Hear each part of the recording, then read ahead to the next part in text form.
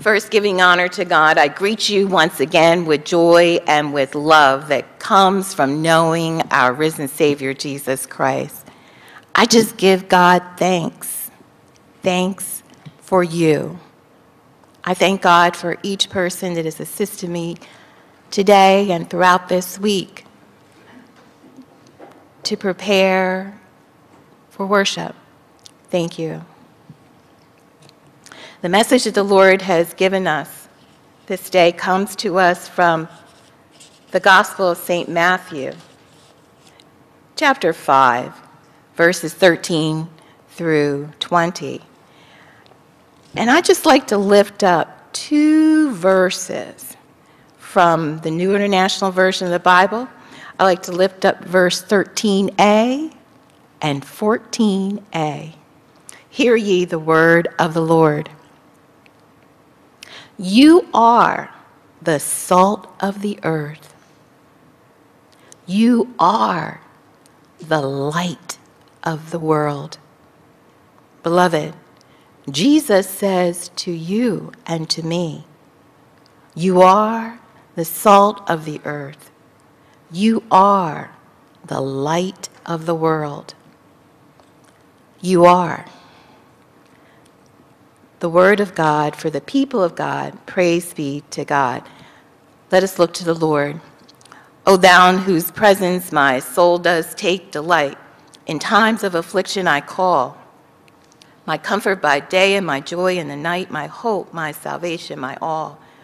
O merciful and kind God, I humbly come before you, this weak vessel of clay. O kind God, I ask that you take me deep down in your treasures and you lead me there. Lord, I pray that you come forth with all power and with all might, that you come forth with a word of love and a word of healing, a word of encouragement, a word of conviction, a word, Lord. Let the words of my mouth and the meditation of my heart be acceptable in thy sight, Lord. You are my rock and my redeemer. And the people of God do say, Amen. Amen, amen, and amen. You are. You are. Being human, we spend a great deal of our lives striving to become. As little children, we are often asked, What do you want to be when you grow up? Whether in school, in our families, playing sports, learning a craft such as quilting or carpentry, or at our places of employment, we focus a lot of our attention and we extend a great deal of our energy and resources in becoming what we think we should be or what others are asking us to be. But here in our text, God tells us we are. We are, he says.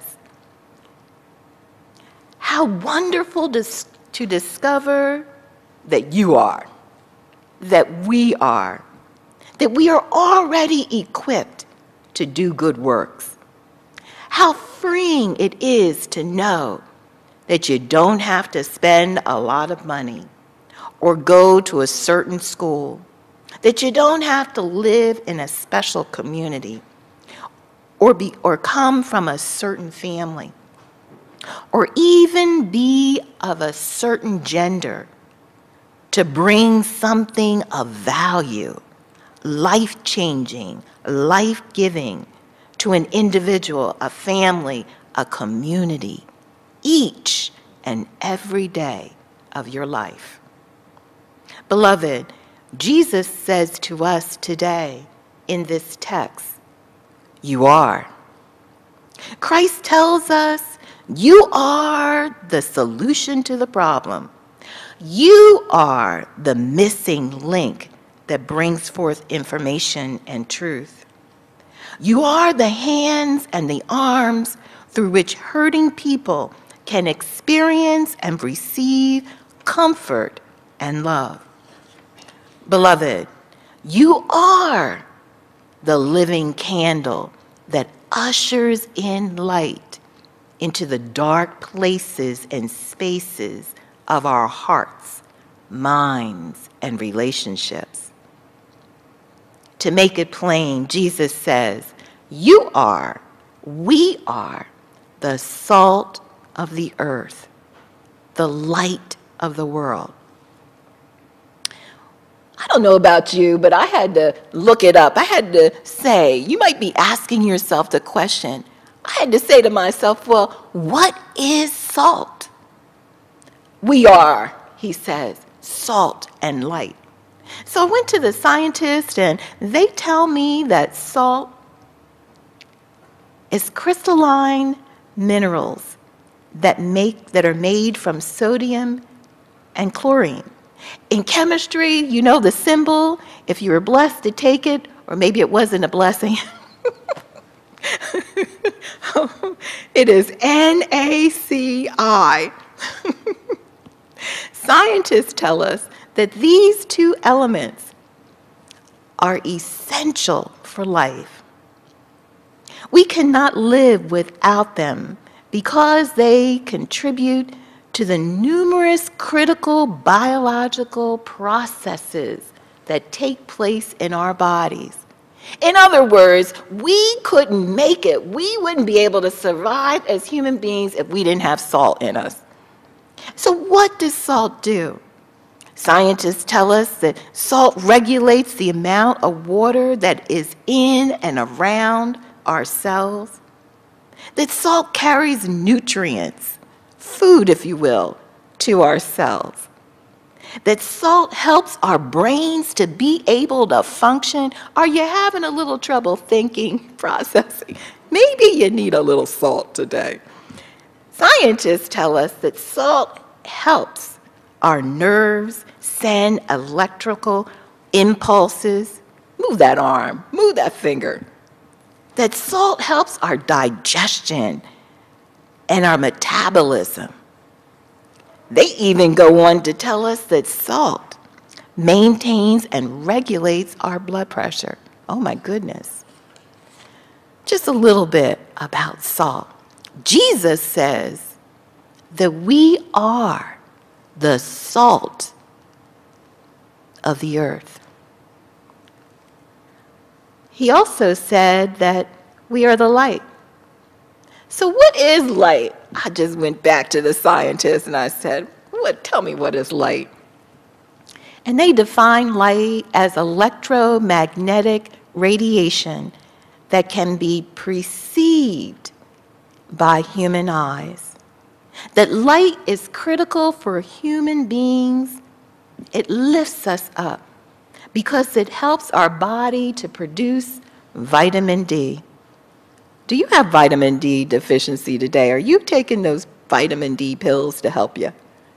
You know, they say that light improves our circadian rhythm, meaning it helps us be able to sleep. It keeps our sleep pattern together.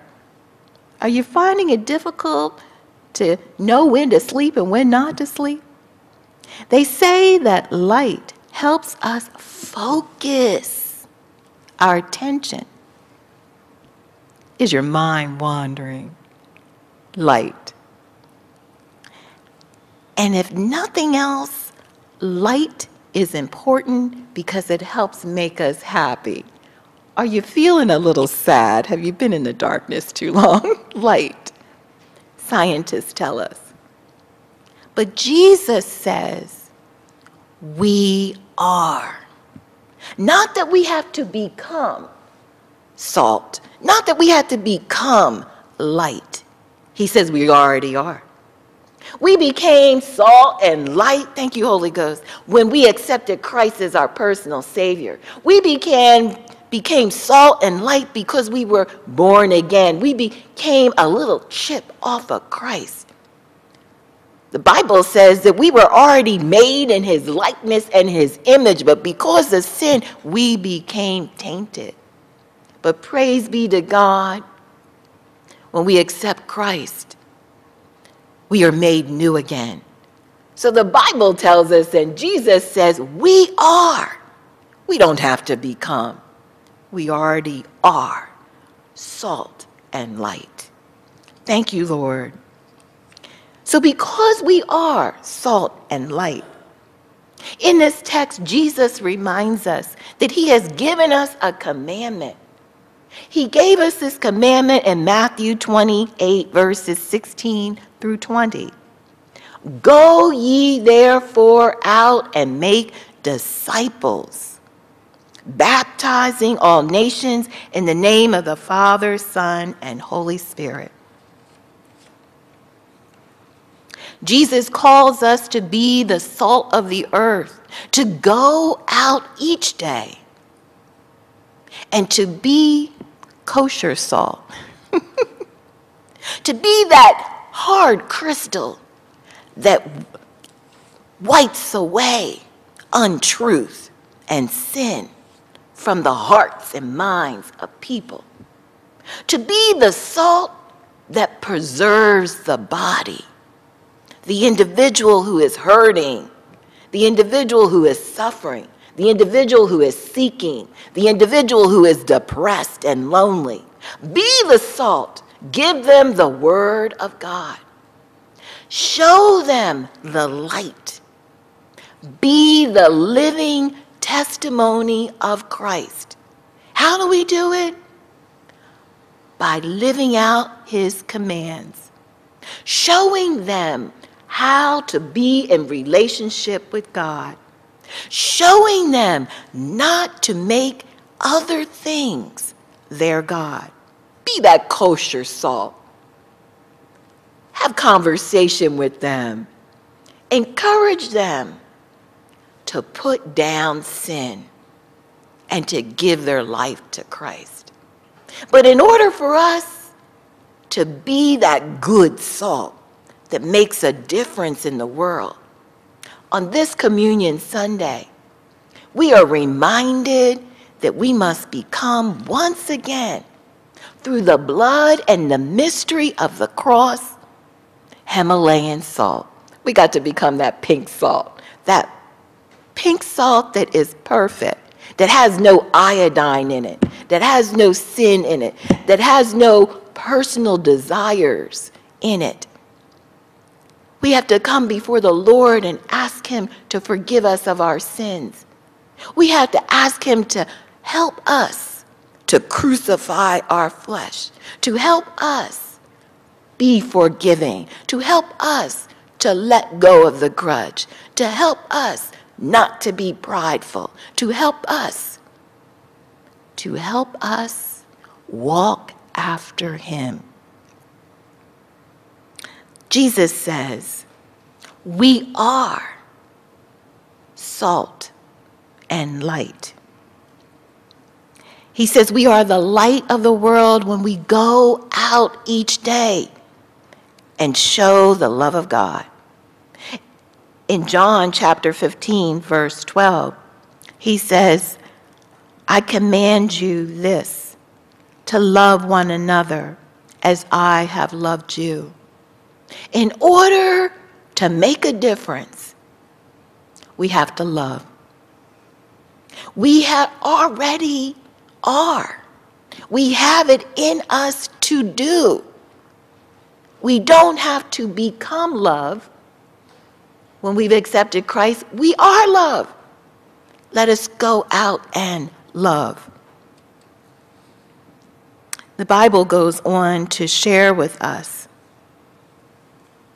that when we do the work of the gospel, we are the light in the world. We are the solution to the problem when we bring forth peace. We are the solution to the pain when we usher in forgiveness. We are the tool that the world needs for the change it desires because we are the salt that brings forth life. We are the light that shines in the darkness. This day, our Communion Sunday, let us ask God to restore us, to strengthen us, that we might be Himalayan salt, free of our own sin, bitterness, anger, disappointment, strife, to make us pure again. Let us ask God to empower us and to encourage us that wherever we go, whomever we meet, we will share the gospel with them, the salt that makes a difference in their lives. Let us be the light that points them to Christ. Let us be the love that binds us one to another. Light and salt we are. Light and salt we are. We do not have to become anything to be valuable in this world. We already are. We already are. Let us do the work of the gospel. Let us be what God created us to be salt and light. Amen.